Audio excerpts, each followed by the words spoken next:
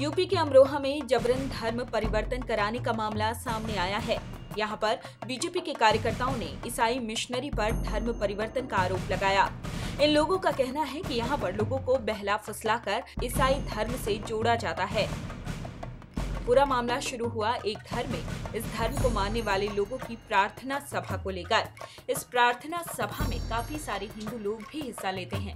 इस बात का पता चलते ही बीजेपी कार्यकर्ताओं ने पुलिस के पास शिकायत दर्ज करवाई कि यहाँ हिंदुओं का धर्म परिवर्तन करवाया जा रहा है।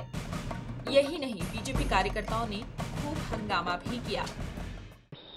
श्री शिव कुमार द्वारा अवगत कराया गया कि अतरासी रोड पर एक मकान में, मकान के बाहर और मकान में कुछ ईसाई लोग ज़बरदस्ती ईसाई धर्म का प्रचार कर रहे हैं और हिंदू धर्म के बारे में अपशब्द कर रहे हैं। कुछ हिंदू धार्मिक देवी देवताओं को बारे में ऐसी बातें कर रहे हैं जिससे जनता में रोष पैदा हो रहा है। और हिंदू धर्म की मर्यादा भंग हो रही है। इस आधार पर अभियोग पंजीकृत किया गया और पंजीकृत करने के बाद कार्रवाई की गई।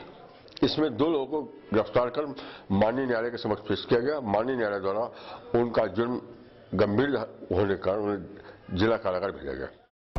पुलिस ने मामले में दो लोगों को गिरफ़्तार कर लिया है। इन पर धार्मिक भावनाएँ भड़काने के आरोप लगे हैं। बीजेपी का कहना है कि इन लोगों ने हिंदुओं को धर्म परिवर्तन के लिए ढेरों लालच दिए और हिंदू देवी देवताओं के लिए अपशब्दों का भी इस्तेमाल किया। Video desk Amar Ujala TV, Amroha.